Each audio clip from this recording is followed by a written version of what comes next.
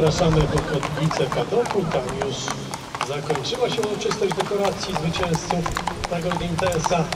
Na padoku prezentowane są konie, które pobiegną w godzinie czwartej. To bieg dla czteroletnich i starszych koni czystej i arabskiej czwartej grupy, ale tu kilka znacznie lepszych koni biegnie pod nadwagą. E, Na przykład Gabo to jest numer 4, 9-latek w hodowli niemieckiej. E, To jest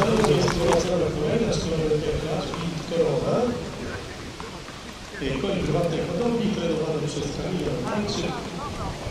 Pod Aleksem Reznikowem klacz będzie wagę 59 kg.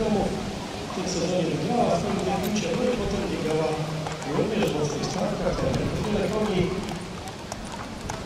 jego ostatnio boks, ale tam niestety była przedostatnia stawka się pokazała zbyt mocna. Jeżeli tu zajmie dobre czwarte miejsce, to będzie niewątpliwie sukces tej klaszy. I to jest cała stawka, ale bowiem 7 koni startuje w wyścigu dla 4-letnich i starszych koni czystej krwierarskiej czwartej grupy. Dystans tego biegu to 1600 metrów.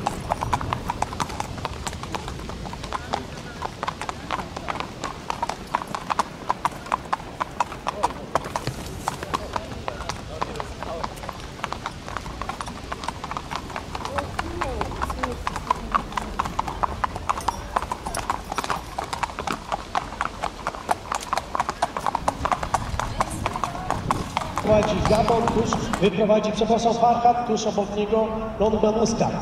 Farhat próbuje ucieczki, tam przy kanacie bardzo ładnie przeszła HM Szabla.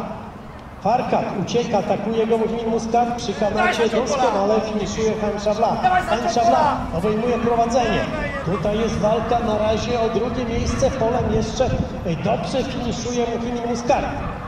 Do celownika jeszcze pozostało 150 metrów.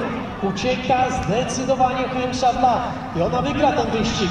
O drugie miejsce jest walka, czy tam Farkat będzie drugi, czy też drugi będzie London Muscat. Drugi London Muscat, trzeci Farkat, trzeci Mukimin Muscat.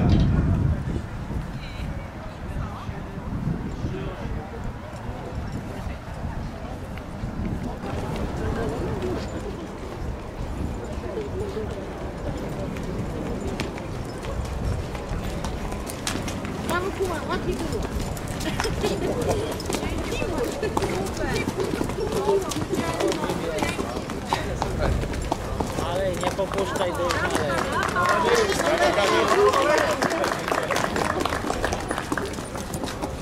Pierw.